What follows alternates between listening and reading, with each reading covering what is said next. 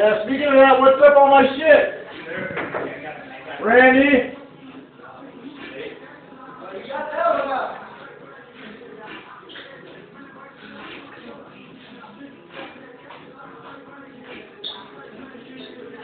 Speaking of their equipment,